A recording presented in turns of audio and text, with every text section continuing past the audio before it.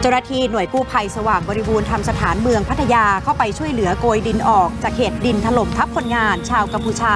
อายุ 28 ปีออกมาได้ แต่ก็ได้รับบาดเจ็บ จึงนำตัวส่งโรงพยาบาล โดยจุดเกิดเหตุเป็นหลุมขนาดใหญ่ลึกประมาณ 5 เมตร 50 เซนติเมตร ภายในซอยวัดบุญสัมพันธ์อำเภอบางละมุงจังหวัดชนบุรี หัวหน้างานบอกว่าขณะที่คนงานกำลังขุดดินเพื่อวางท่อระบายน้ำจังหวะนั้นได้เกิดดินไหลลงมาทับร่าง คาดว่าน่าจะเกิดจากฝนตกลงมาอย่างหนักในช่วง 2-3 วันนี้ทำให้ดินอุ้มน้ำไว้มากจึงเกิดเหตุขึ้น หลังจากนี้ต้องประเมินอีกครั้งว่าเพื่อความปลอดภัย